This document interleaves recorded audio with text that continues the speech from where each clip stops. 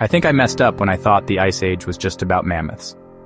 Turns out, the real story is way cooler. Let's break it down. The last ice age peaked around 20,000 years ago. Think glaciers covering huge chunks of North America and Europe.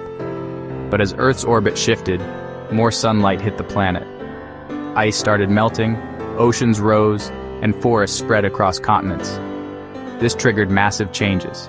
Animals migrated, plants evolved, and humans adapted fast. Melting glaciers released fresh water, shifting ocean currents and even sparking sudden cold snaps, like the Younger Dryas, a dramatic climate hiccup. But as things warmed up again, stable weather allowed farming to take off, paving the way for civilization. So next time you step outside, remember, we're living in the afterparty of a planet-sized thaw.